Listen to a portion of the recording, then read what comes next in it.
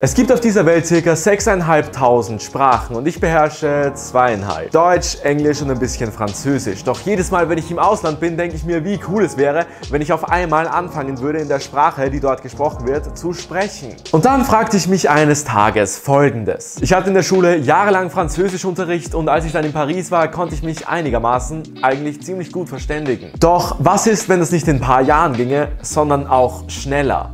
Viel schneller. Ist es möglich, die Grundlagen einer Sprache innerhalb einer Woche so gut zu lernen, dass man sich in einem fremden Land ohne Probleme verständigen kann? Keine Ahnung, aber das finden wir am Ende von diesem Video raus. Und das hier ist der Plan. Ich werde fünf Sprachen auswählen, die mich interessieren und die ich gerne lernen würde. Danach wird mein wunderbarer Hund entscheiden, welche von diesen fünf Sprachen ich mir in den nächsten Tagen aneigne. Danach werde ich versuchen, diese Sprache in sieben Tagen zu lernen. Dann werde ich in das Land fahren, wo diese Sprache gesprochen wird und dort werde ich versuchen, zu überleben und möglichst nicht wie ein Tourist zu wirken. Ist das Ganze eine absolut überzogene Fantasievorstellung oder habe ich, wenn ich mich wirklich reinhänge, ernsthaft eine Chance. Doch bevor wir loslegen, müssen wir wie gesagt erstmal die Sprache auswählen. Ich habe also die fünf Sprachen auf einen Zettel geschrieben und habe die Entscheidung einem höheren Wesen überlassen. Und zwar meinem Hund Diana. Sie hat sich dann ziemlich schnell für die Mitte entschieden und das war Italienisch. Das Ganze hat mich wahnsinnig gefreut, da ich ewig nicht mehr in Italien war und ich bei dieser Sprache die Hände nur so halten muss,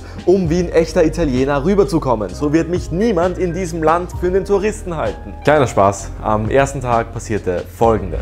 Das hier markiert den Beginn meiner Italienisch-Lernreise. Äh, ich bin noch nicht ganz sicher, wie ich das überhaupt angehe, aber ich werde einfach mal im Internet danach suchen und mir ein paar italienische Wörter raussuchen und einfach mal drauf loslegen, ohne viel Vorbereitung. Doch der Start von diesem Projekt sollte nicht so smooth laufen, äh, wie ich es mir erhoffte. Ich hatte den Plan, das Ganze, genauso wie alle anderen Dinge, die ich heute kann, mit Hilfe des Internets und vor allem YouTube-Tutorials zu lernen. Aber irgendwie wusste ich nicht so richtig, wo ich anfangen soll oder was ich generell als erstes tun soll. Doch nach kurzer Recherche fand ich eine Lösung für genau dieses Problem und diese heißt Buzu und die waren außerdem so nett, dieses Video hier zu sponsern. Mit Buzu könnt ihr Sprachen wie Spanisch, Italienisch, Japanisch und viele mehr spielend leicht lernen. Das Ganze ist extrem übersichtlich aufgebaut und begleitet einen wirklich wahnsinnig gut durch den sonst oft überwältigenden Prozess, eine neue Sprache zu lernen. Mit Busu wusste ich auch endlich, wo ich anfangen soll und es hat mir das Italienisch lernen wirklich leicht gemacht.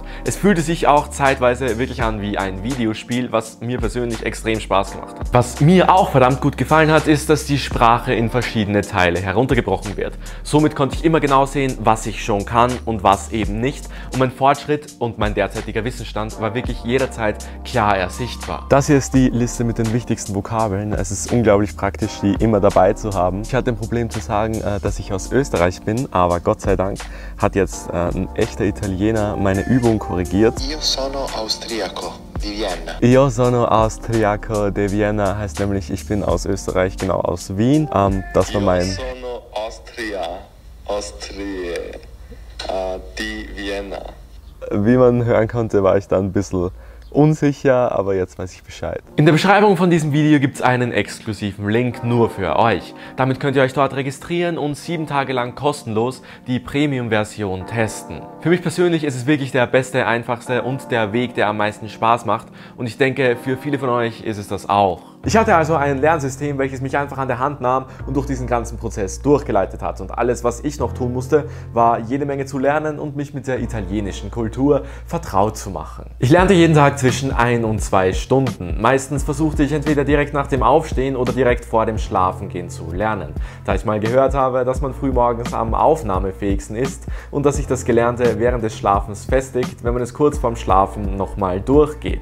Das Ganze habe ich in der Schule auch immer gemacht und das hat eigentlich ziemlich gut funktioniert. Und auch dieses Mal funktionierte es ziemlich gut. Ich habe auch angefangen mit meiner Freundin Italienisch zu reden, auch wenn sie nicht wirklich was verstand und ich mich eher ziemlich amateurhaft anhörte, war es trotzdem lustig und ich habe so einfach die Übung reinbekommen. Ich hatte noch versucht, Serien und Filme auf Italienisch zu schauen. Leider habe ich da aber so geisteskrank nichts verstanden, dass ich das ziemlich schnell wieder gelassen habe, da es absolut nicht effektiv war. Doch ich machte gute Fortschritte. Ich hielt mein Lernpensum jeden Tag ein und habe auch versucht, möglichst viel zu sprechen, um meine Aussprache ein bisschen besser zu machen oder mich wenigstens daran zu gewöhnen. Ich weiß auch nicht warum, in der Schule habe ich das wirklich, wirklich nicht gerne gemacht, aber dieses Mal war es irgendwie anders. Wahrscheinlich weil ich nicht dazu gezwungen wurde oder so. Dann bin ich noch auf eine wahnsinnig schlaue Idee gekommen und zwar habe ich äh, wieder italienische Serien und Filme geschaut, aber mit Untertiteln. Ähm, so habe ich versucht, ein bisschen ein Gefühl für die Sprache zu bekommen. Ich kann nicht sagen, wie effektiv das wirklich war, aber ich habe mich auf jeden Fall so gefühlt,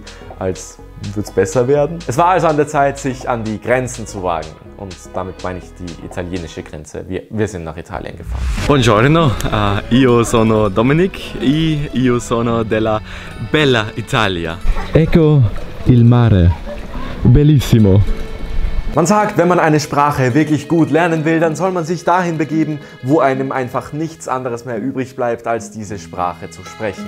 Und oh Mann, das haben wir getan. Wir sind nach Triest gereist. Das liegt zwar nicht allzu tief in Italien, das ändert jedoch nichts an der italienischen Kultur oder an dem Charme oder an dem Flair dort. Das war das Italienischste, was ich jemals experienced habe. Ich war zwar als Kind schon ein paar Mal in Italien, aber das war wirklich so krass italienisch wie in den Filmen. Ich fühlte mich also wirklich wie zu Hause. Was mich hier vor allem wirklich verwundert hat, war, dass so ziemlich niemand Englisch gesprochen hat. Von allen Menschen dort, mit denen wir gesprochen hatten, konnten nur wirklich sehr wenige sehr gebrochenes Englisch. Als wir dort ankamen, hatten wir Probleme zur Unterkunft zu kommen, aber wir hatten die Eingangstür nicht gefunden, beziehungsweise die ging nicht auf. Und wie wir dann eine Italienerin, die dort am Start war, gefragt haben, wie die denn aufging, äh, sprach die wirklich nur Italienisch und kein Wort Englisch. Die Dame war zwar absolut hilfsbereit, jedoch war das viel zu viel für mich und ich habe fast gar nichts verstanden und das war nicht wirklich eine große Hilfe. Ich war also noch nicht so weit, dass ich fließendes Italienisch perfekt verstehe, aber das war ja zu erwarten. Jedoch kam ich gleichzeitig auch viel besser durch, als ich eigentlich erwartet hatte. Ich konnte problemlos bestellen und die grundlegenden Vokabeln waren alle in meinem Wortschatz. Barei una pizza buratina, prego, e gnocchi e gamberi e acqua naturale, prego. Buongiorno, come ti chiami? Piacere. Di dove sei?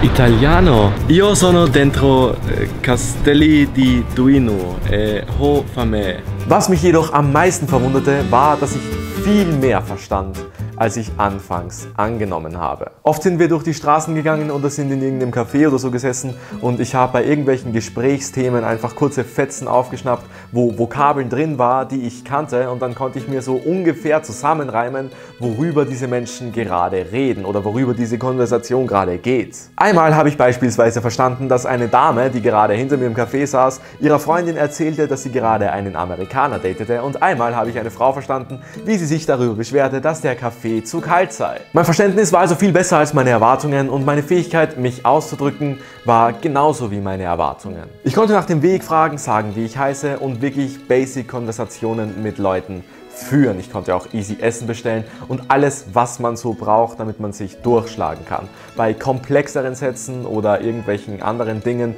musste ich jedoch verdammt lange überlegen und das war halt nicht so fließend. Aber es hat funktioniert. Was meine Aussprache betrifft, ah, die war katastrophal. Also dort hat mir sicherlich niemand abgenommen, dass ich gerade kein Tourist bin, äh, der diese Sprache länger als sieben Tage lernt. Aber trotzdem fühlte ich mich nicht nackt. Ich war nur mit ein paar Tagen Erfahrung eigentlich selbstbewusst dort unterwegs. Aber hey, sieben Tage sind natürlich nicht lange und dafür war ich wirklich zufrieden mit meinem Fortschritt.